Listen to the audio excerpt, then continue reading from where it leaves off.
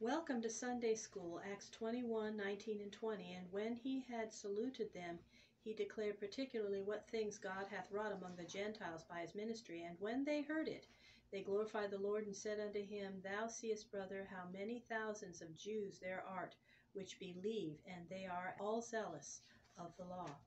When Paul and his friends came to Jerusalem, they met with the church in that city and gave the money which had been gathered among the Gentiles to help those of the Jewish believers in Christ who were poor. The apostle James, the Lord's brother, who was at the head of the church in Jerusalem, gave to Paul and his friends a glad welcome and praised God for the good work wrought among the Gentiles. About a week after Paul had come to Jerusalem, he was worshiping in the temple when some Jews from the lands around Ephesus saw him. They at once stirred up a crowd and took hold of Paul, crying out, Men of Israel, help! This is the man who teaches all men everywhere against our people and against our law and against this temple.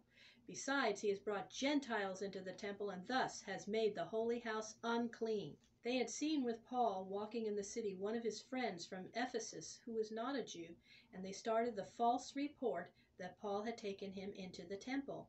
When the Jews set up this cry against Paul, all the city was stirred up and a great crowd gathered around Paul.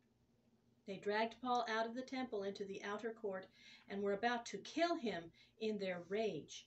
But in the castle on the north of the temple was a Roman guard of soldiers, a thousand men under the command of an officer whom we should call a colonel, but whom they called the chief captain. Word came to this officer that all Jerusalem was in a riot and that a wild mob had seized the temple. He called out companies of soldiers and their centurions or captains and rushed quickly into the temple and into the midst of the crowd who were beating and trampling upon Paul.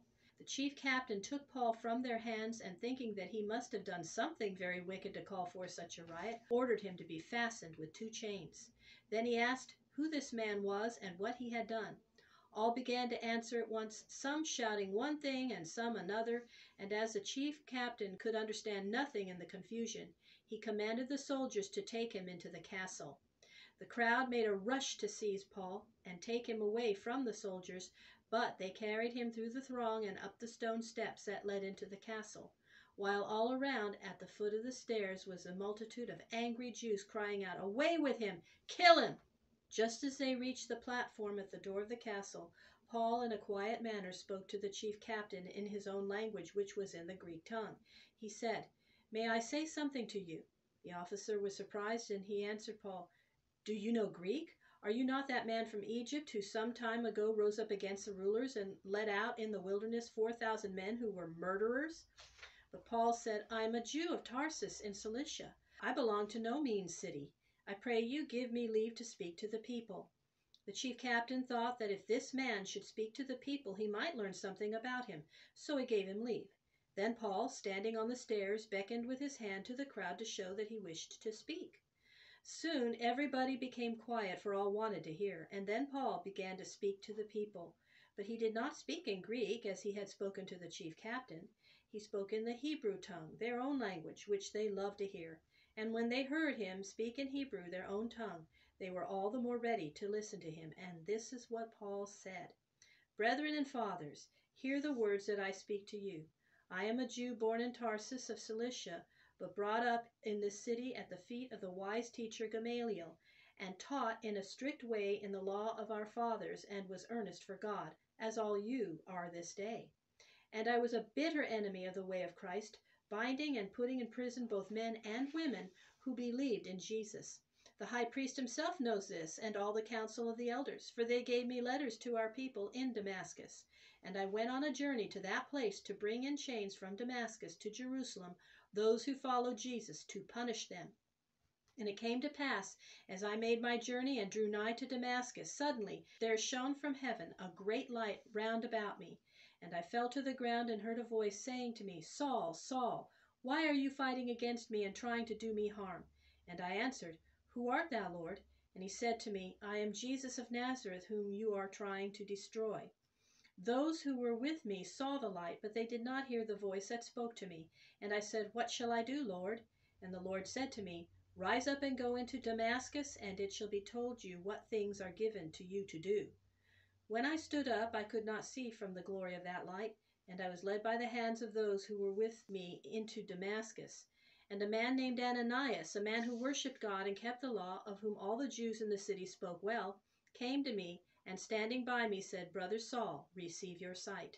And in that very hour I looked up and saw him, and he said to me, The God of our fathers has chosen you to know his will, and to see the Holy One, and to hear his voice. For you shall speak in his name to all men, telling them what you have seen and heard.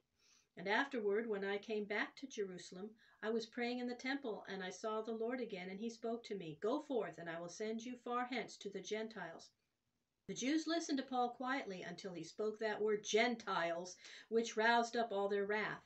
They began to cry out, Away with such a fellow from the earth! It is not fit that he should live. And as they flung off their garments and threw dust into the air in their rage, the chief captain ordered that Paul should be taken into the castle and beaten with rods until he should tell what dreadful thing he had done to arouse such anger. For the chief captain, not knowing the Jews' language, had not understood what Paul had said. They took Paul into the castle and were tying him up to beat him, when Paul said to the centurion who stood by, Have you any right to beat a Roman citizen who has not been tried before a judge? When the centurion heard this, he went in haste to the chief captain and said to him, Take care what you do to that man, for he is a Roman citizen. Then the chief captain came and said to Paul, Tell me, are you a Roman citizen? And Paul said, Yes, I am. The chief captain said, I bought this right to be a citizen with a great sum of money. And Paul said to him, But I am a free born citizen. When those who were about to beat Paul knew that he was a Roman citizen, they went away from him in haste. And the chief captain was afraid because he had bound Paul, for no one might place a chain on a Roman citizen until he had been tried before a Roman judge. They took Paul into the castle, but were careful not to do him any harm.